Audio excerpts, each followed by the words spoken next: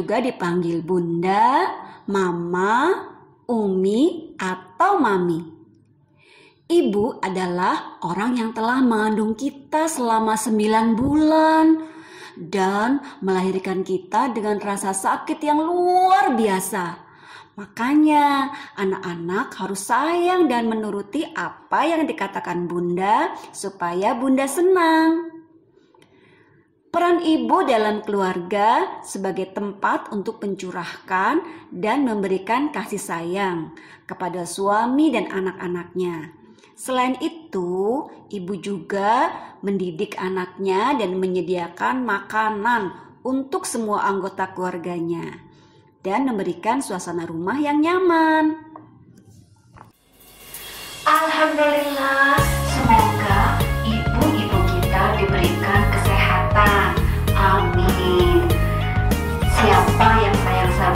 sama ibu atau bundanya?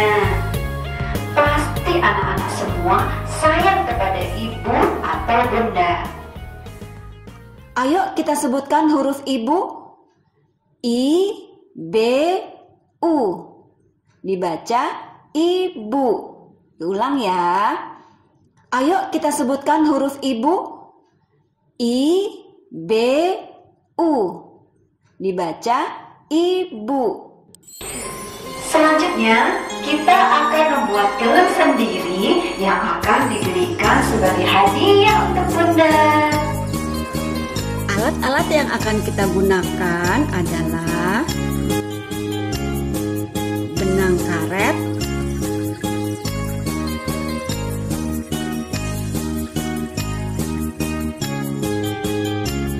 dan manik-manik yang berwarna-warni.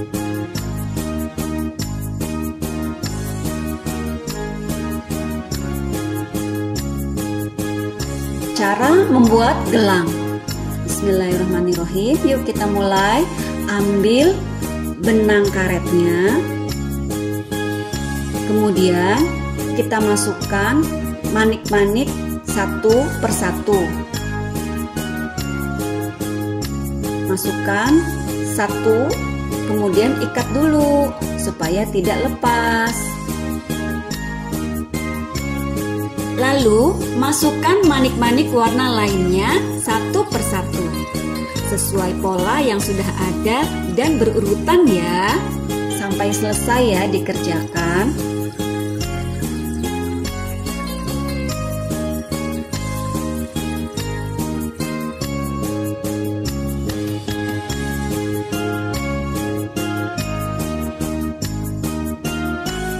Kemudian ikat dulu supaya tidak lepas.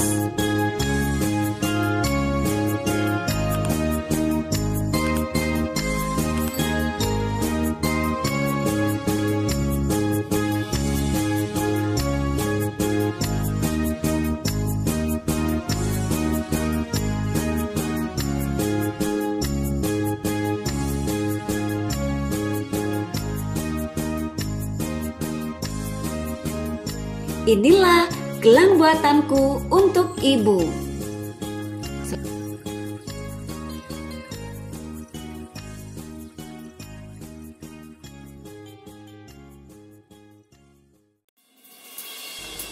Masya Allah, bagus sekali gelangnya.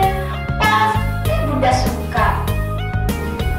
Selanjutnya, kita akan bermain huruf. Siapkan alat yang akan kita gunakan. Ada paper clip, ada kartu huruf IB, dan kartu huruf A, I, U, E, O. Ambil klip, lalu kita buka sedikit. Kita masukkan huruf. Kita pasangkan. Kalau sudah terpasang, kita mulai baca ya. Nah, iba, tarik ke bawah. Ibi. Tarik lagi, jadi dibaca ibu. Tarik lagi ke bawah. Ibe. Yuk tarik lagi ya. Tuh dibaca Ibo. Asik ya permainannya. Boleh diulang lagi. Selamat bermain.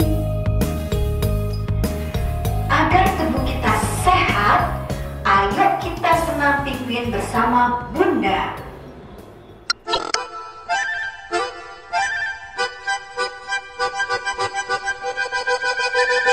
Five, four, five, four, three, two.